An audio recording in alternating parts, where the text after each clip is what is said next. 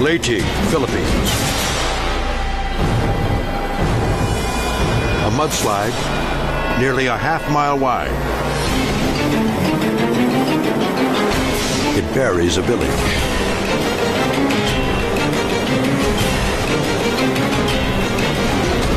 There is no warning.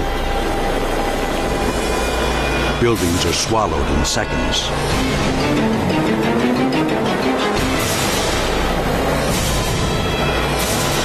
Family members frantically search for signs of loved ones.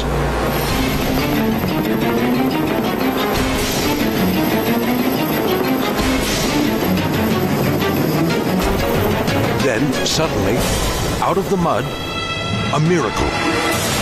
A man is holding a child. The toddler's covered in mud, and she's not breathing. The riverbed is too strong to cross. Man waits helplessly. Precious moments pass. Rescuers arrive using a tractor to reach him.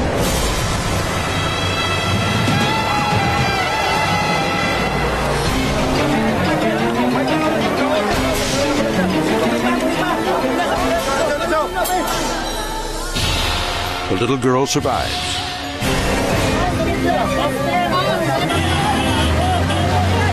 Then, her mother is rescued as well.